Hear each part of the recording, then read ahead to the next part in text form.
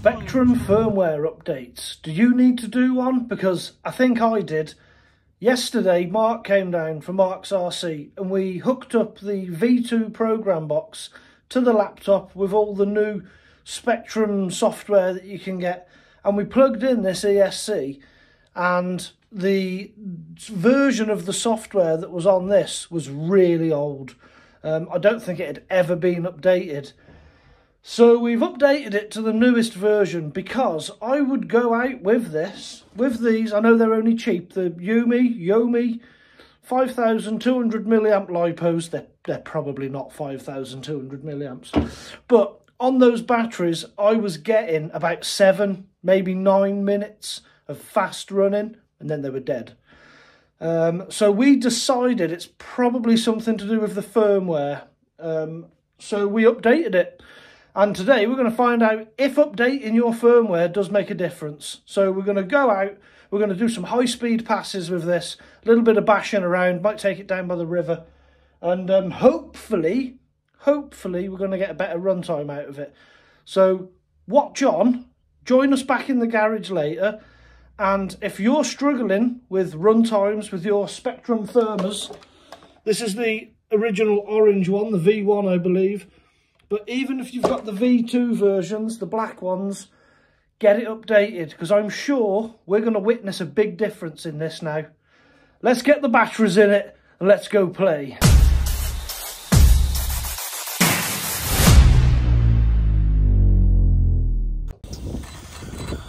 Right, 6S. I think the first thing we should do is uh, get some speed passes in. So I have made note of the time. Normally, this kind of area where I'm just going to run up and down this road. In fact, no, I'll do a couple of speed passes and then I might go over there. There's probably a little area we can do a bit of bashing. So that'll be cool. But let's just see how fast this goes, yeah? Should we give it a couple of passes? Let it warm up slightly.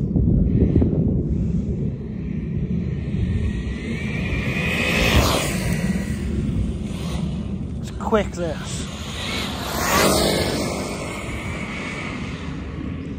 Wow, it's quick.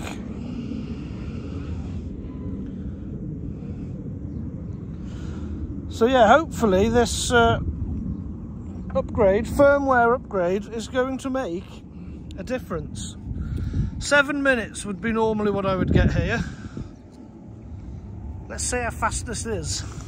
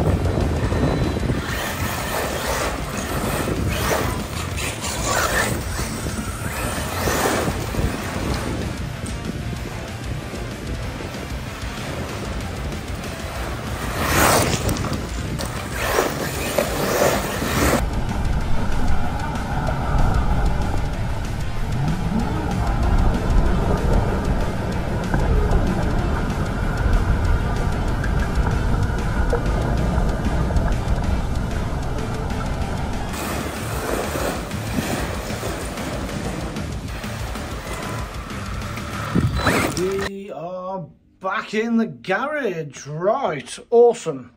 Quick damage report. No damage, apart from one tyre did explode. I think it might have been this one. I can't remember. Yeah, it was this one, look. I say it exploded, made a little hole in it and most of the foam has came out. I've got spares, so I'm not worried about that. Apart from that, the truck is amazing. Absolutely amazing. Love it. But the real question is, the one that everyone wants to know, is has the firmware updates made any difference?